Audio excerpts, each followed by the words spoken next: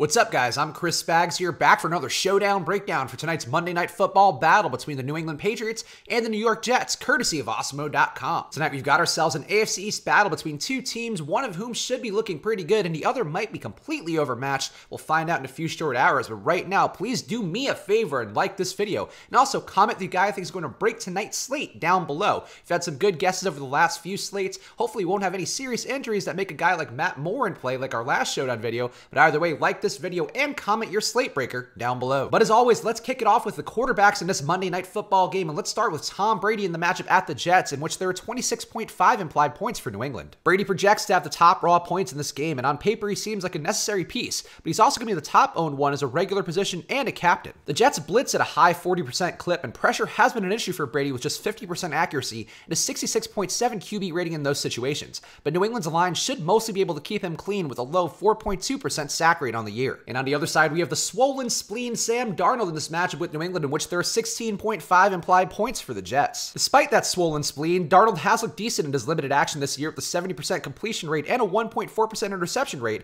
a mostly low risk throws with just 7 air yards per attempt. The low total in New England's 53% completion rate with a 26% pass deflection rate will make Darnold less owned. So stacks of Darnold and Jets receivers are a contrarian, but possibly very risky move. And now onto the running backs in this game, and of course we have Sony Michel and James White in this matchup at the Jets. White as a cheaper play is appealing given his pass game involvement, and Michel's disappointing effort on the year with just 3.5 yards per rush and 2 yards after contact per attempt. But with more ownership expected for White and no Rex Burkhead, Michel can be sneakier than a guy getting 17.5 touches per game should be. The Jets allow 5.2 points per red zone visit, so New England shouldn't find a great deal of resistance when on the opponent's side of the field. A benefit to White's 1.8 red zone targets per game, as well as Michel's 3 red zone rushes per game, and of course Brandon Bolden's TD vulturing potential. And for the Jets on the other side, we have Le'Veon Bell in this matchup versus New England. Bell has historically had some struggles versus New England, and the situation isn't much better with New England allowing opponents just 18 rushes per game and decreasing running backs' pass catching production by 24% according to Football Outsiders DVOA. Despite that, Bell has a solid projection and a floor that will make him one of the highest owned players on the slate, but he's a consideration of fade in some lineup builds given the Jets' iffy run blocking and the likelihood of the Jets trailing early. And now onto the receivers in this Monday night football game. Let's start with New England receivers at the Jets. Julian Edelman also projects as a top raw points play with a high price and high expected ownership with 9.3 targets per game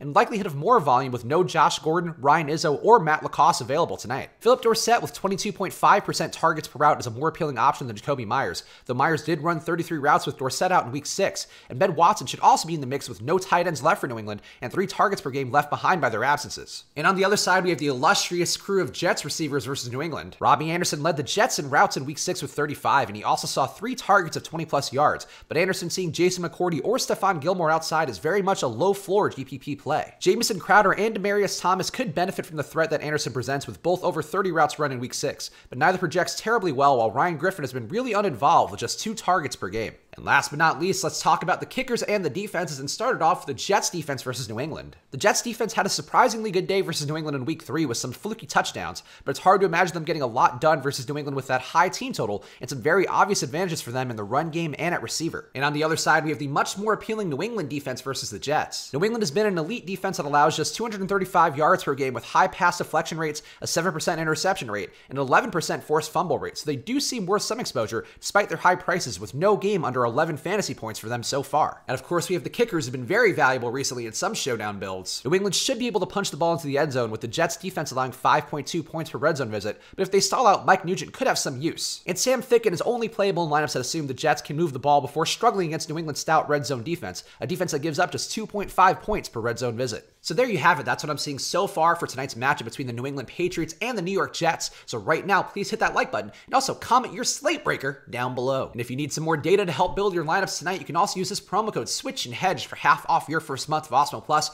We have showdown ownership projections as well as showdown player projections. A lot of this data is going to help you out. We also have packages as low as $3.95 a week. That's cheaper than a combo meal. So go check out these packages at Awesemo.com slash join. Use that promo code Switch and Hedge for half off your first month. Go follow me on Twitter and Instagram at Chris Spags. It was my birthday yesterday. You know that year of maturity is going to make me put out even better content. So go check out what I'm doing right now on Twitter and Instagram at Chris Spags. I'll be back with you guys on Thursday for another showdown breakdown. So keep your eyes peeled there. In addition to all the other content I'm doing here on this YouTube channel, I'll be back with you guys again very soon. So thank you for watching. And of course, good luck.